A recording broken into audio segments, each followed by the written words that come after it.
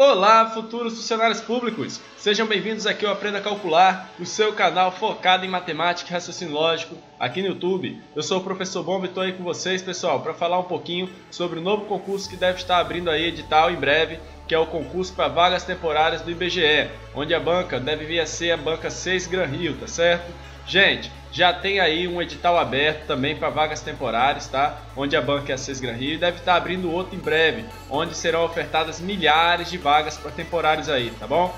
Gente, que eu gostaria de dizer para vocês é que o canal já tem cinco aulas postadas aí focado na Banca 6 Gran Rio. E agora que eu acabei o projeto da Fundação Getúlio Vargas também para o concurso do IBGE, eu vou estar começando esse novo projeto aí, tá certo? Para o pessoal que vai fazer o concurso aí de vagas temporárias focado aí na Banca 6 Gran Rio. Então, em breve eu vou estar colocando mais aulas, tá certo? Aí para você que vai fazer esse concurso vir a ter aí uma preparação de qualidade. Lembrando a vocês que aqui o canal é uma forma de você começar com o pé direito seus estudos, tá certo? Não quer dizer que você estando só pelo canal você vai ser aprovado. Pode ser que sim, mas você sabe que eu aconselho vocês a buscarem mais exercícios, mais questões, a fazer uma complementação, porque aqui a gente dá um norte para você saber como estudar, tá certo? Como eu digo para vocês, aqui é a maneira de começar com o pé direito a sua preparação, tá bom? Então em breve eu vou estar colocando mais, mais questões aí, mais aulas para o concurso da banca 6 Gran Rio, focado aí no concurso do IBGE,